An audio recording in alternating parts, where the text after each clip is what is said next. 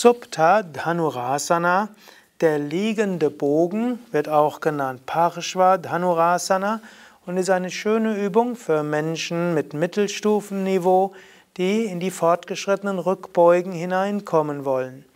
Vom normalen Bogen aus, Dhanurasana, drehe dich einfach zur Seite. Und dann strecke die Füße nach hinten aus, soweit du kannst. Und du kannst aber auch den Kopf weiter nach hinten geben.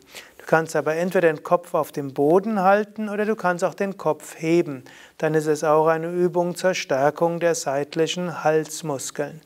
Der Vorteil auf der Seite ist, die Schwerkraft wirkt nicht gegen dich, sondern die Schwerkraft ist hier neutral. Du kannst also mit den Füßen kräftig die Hände nach hinten drücken und so wirst du in Schulter, Bauch und Brustkorb und auch in den Hüftgelenken immer weiter in die Rückbeuge gebracht.